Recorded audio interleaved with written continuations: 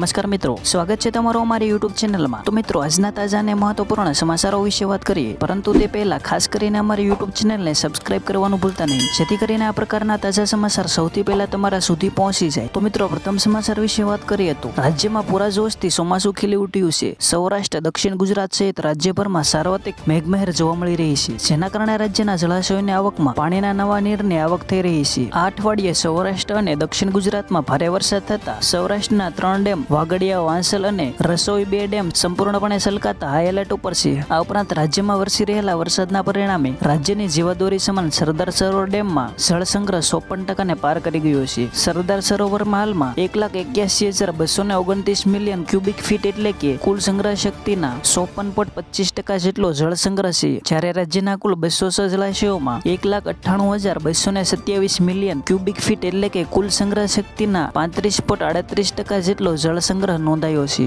એક અહેવાલ મુજબ, સૌરાષ્ટ્ર વિસ્તારમાં છેલ્લા બે દિવસથી વરસી રહેલા વરસાદના પરિણામે ત્રણ જળાશયો સંપૂર્ણપણે છલકાયા છે. આ સિવાય રાજ્યના આઠ ડેમ એસી ટકાથી નેવું ટકા ભરાતા એલર્ટ ઉપર છે. તો મિત્રો, આવી રીતે ગુજરાતમાં પડી રહેલા વરસાદના કારણે જળાશયોમાં નવા નીરની આવક જોવા મળી રહી છે. ત્યાર પછીના મહત્વના સમાચાર વિશે વાત કરીએ તો ઉત્તર પ્રદેશના ગોંડામાં એક ટ્રેન પાટા ઉપરથી ખડી પડી છે. ચંદીગઢથી દિબ્રુગઢ જઈ રહેલી દિબ્રુગઢ એક્સપ્રેસના દસથી પંદર કોચ પાટા ઉપરથી ઉતરી પડ્યા હતા, જેમાં ચાર લોકોના મોત થયા છે જ્યારે છવ્વીસ મુસાફરો ઇજાગ્રસ્ત થયા હોવાના અહેવાલો સામે આવ્યા છે હવે આ દુર્ઘટના અંગે ચોંકાવનારી વિગતો સામે આવી રહી છે. ટ્રેનના લોકો પાયલટના નિવેદન બાદ ટ્રેન દુર્ઘટના પાછળ ષડયંત્રની આશંકા વ્યક્ત કરવામાં આવી રહી છે. ટ્રેનના લોકો પાયલટના જણાવ્યા પ્રમાણે, અકસ્માત પહેલા વિસ્ફોટનો અવાજ સંભળાયો હતો. લોકો પાયલટે આપેલી માહિતીના આધારે રેલવે પ્રશાસન દ્વારા અલગ અલગ પાસાને ધ્યાનમાં રાખીને તપાસ શરૂ કરી દીધી છે. નોર્થ ઈસ્ટ રેલવેના સીપીઆરઓ પંકજસિંહના જણાવ્યા અનુસાર, CRS commissioner of railway safety તપાસ આદેશ કરવામાં આવ્યો છે. આ ઘટનાને લઈને રેલવે સુરક્ષા કમિશનરને તપાસના આદેશ કરવામાં આવ્યા છે. ત્યારે રેલવે મંત્રાલયે મૃતકોના પરિવારને દસ દસ લાખ રૂપિયાની તથા ગંભીર રીતે ઘાયલ થયેલા મુસાફરોને બે પાંચ લાખ અને સામાન્ય ઇજાઓ પહોંચેલા લોકોને પચાસ હજાર રૂપિયાની આર્થિક સહાયની જાહેરાત કરાઈ છે. તો મિત્રો, આવી રીતે ઉત્તર પ્રદેશમાં એક ટ્રેન પાટા ઉપરથી ઉતરી જતા ભારે અકસ્માત સર્જાયો છે. ત્યાર પછીના મહત્વના સમાચાર જોઈએ તો બેંગ્લોરના પ્રખ્યાત જીટી વર્લ્ડ મોલનો એક વીડિયો સોશિયલ મીડિયા ઉપર વાયરલ થયો હતો. વિડીયોમાં ધોતી પહેરેલા ખેડૂતને મોલની અંદર પ્રવેશ નહોતો આપવામાં આવ્યો.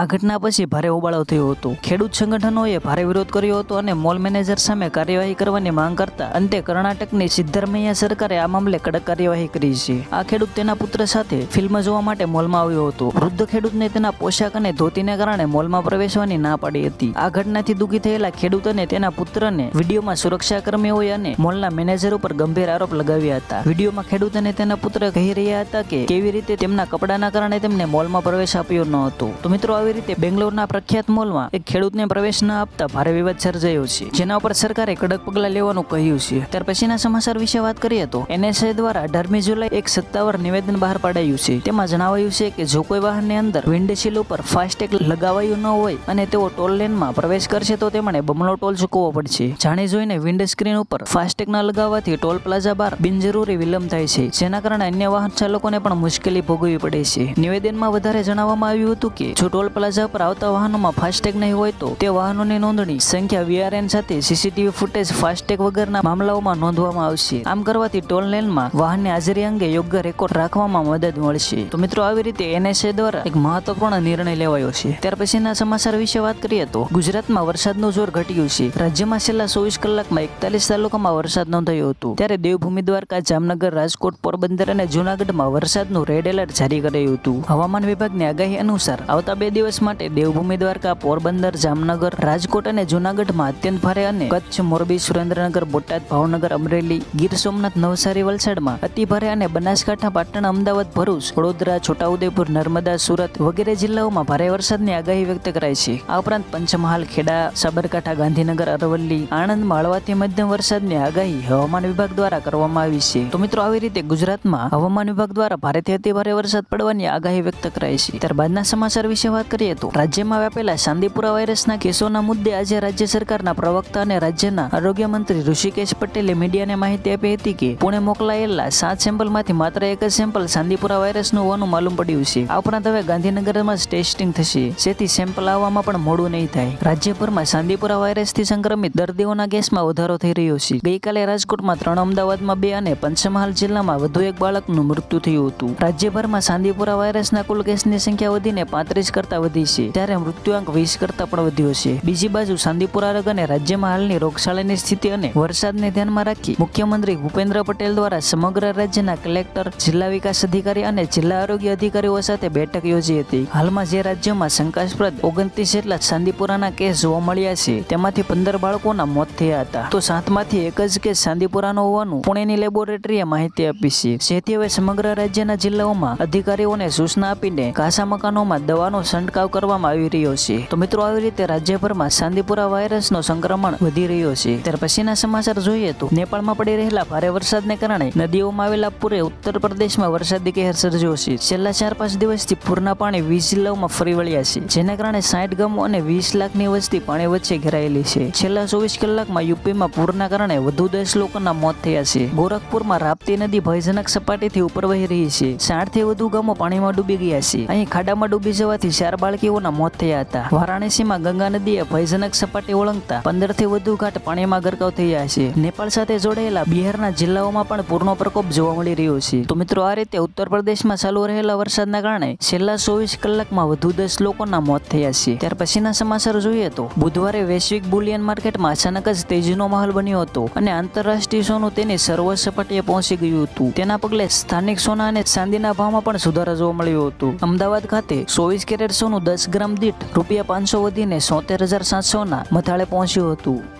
ત્યાર પછીના સમાચાર વિશે વાત કરીએ તો દિવાળીના તહેવારને આડે હવે ગણતરીના દિવસો બાકી રહ્યા છે. ત્યારે ડુંગળી સહિતના શાકભાજીના ભાવમાં થયેલા વધારાએ મધ્યમ વર્ગનું બજેટ ખોરવી દીધું છે. અમદાવાદમાં ડુંગળીના ભાવ પ્રતિ કિલો એ રૂપિયા સિત્તેર થઈ ગયા છે. ડુંગળીના વધતા ભાવ વચ્ચે સ્થિતિ એવી સર્જાય છે કે રેસ્ટોરન્ટમાં કસ્ટમર માટે ડુંગળી માંગવી નહીં તેવા બોર્ડ લગાવવા પડ્યા છે. અનેક રેસ્ટોરન્ટની થાળીમાં ડુંગળી ગાયબ થઈ ગઈ છે. કેટલીક રેસ્ટોરન્ટમાં લીલી ડુંગળી આપવામાં આવે છે. રેસ્ટોરન્ટના માલિકોના મતે છેલ્લા બે સપ્તાહથી ડુંગળીની કિંમતમાં ખૂબ જ વધારો થયો છે. ઉલ્લેખનીય છે કે વર્ષ બે હજાર ઓગણીસમાં આ સમયગાળામાં પ્રતિ કિલોગ્રામે ડુંગળીના ભાવ રૂપિયા સો સુધી પહોંચી ગયા હતા. આ વખતે પણ આવી સ્થિતિ સર્જાય તેવો ભય ઊભો થયો છે. ડુંગળી ઉપરાંત અન્ય શાકભાજી અને ફ્રૂટના ભાવમાં પણ વધારો નોંધાયો છે. આદુની કિંમત પ્રતિ કિગ્રાએ રૂપિયા ત્રણસો થઈ ગઈ છે, જ્યારે કોબીજ ખરીદવા માટે રૂપિયા સો સુધી આપવા પડે છે. સફરજન સંતરાની કિંમત રૂપિયા બસો જ્યારે ડઝન કેળાનો ભાવ રૂપિયા સો થઈ ગયો છે. તો મિત્રો, આવી રીતે ડુંગળીના વધતા ભાવે રડાવ્યા. રેસ્ટોરન્ટના સલાડમાંથી ડુંગળી ગાયબ થઈ ગઈ હતી. તહેવારોના સમયે જ ડુંગળીના ભાવમાં વધારો જોવા મળ્યો છે. ત્યાર પછીના સમાચાર વિશે વાત કરીએ તો ઇઝરાયલ અને હમાસ વચ્ચે એક મહિનાથી વધારે યુદ્ધ ચાલી રહ્યું છે. ગાઝામાં એક તરફ ઇઝરાયલના ફાઇટર વિમાનો બોમ્બ ફેંકી રહ્યા છે ત્યારે બીજી બાજુ તેનો આર્મી ગ્રાઉન્ડ એટેક કરી ગાઝા શહેરમાં ઘૂસ્યું છે. યુદ્ધ રોકવાની દુનિયાની વિનંતીઓ વચ્ચે ઇઝરાયેલે શનિવારે રાત્રે શરણાર્થી કેમ્પ ઉપર કરેલા હવાઈ હુમલામાં સાઠ લોકોના મોત થયા છે. આવા સમયે ઇઝરાયલ પર ગાઝામાંથી હમાસ લેબલોનમાંથી હિઝબુલ્લા અને યમનના હુતી આતંકવાદીઓએ ત્રણ બાજુથી હુમલા કર્યા છે. ઇઝરાયલ સાથેના યુદ્ધમાં હિઝબુલ્લા અને હુતી આતંકવાદીઓ પણ હમાસની મદદે આવ્યા છે. હમાસે દક્ષિણ ઇઝરાયલમાં હુમલા કર્યા છે ત્યારે